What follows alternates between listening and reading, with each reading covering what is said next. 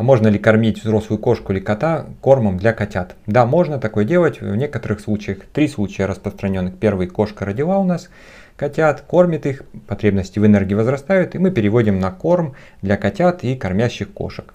Второй случай, кошка или кот после восстановления, после заболевания восстанавливается, потеря веса бывает, чтобы быстрее восстановиться, доктор может перевести на такой корм. Но только доктор переводит, потому что потери веса могут быть связаны с разными причинами. Допустим, болезни почек или печени, и мы самостоятельно переведем на корм для котят, получим осложнение.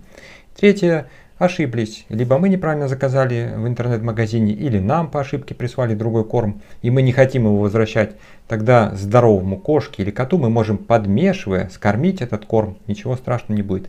На постоянной основе нельзя кормить, потому что будет лишний вес. Ну и зачем нам нужно с этим, с этим кормом потом проблемы? Не нужны. Поэтому ответ такой.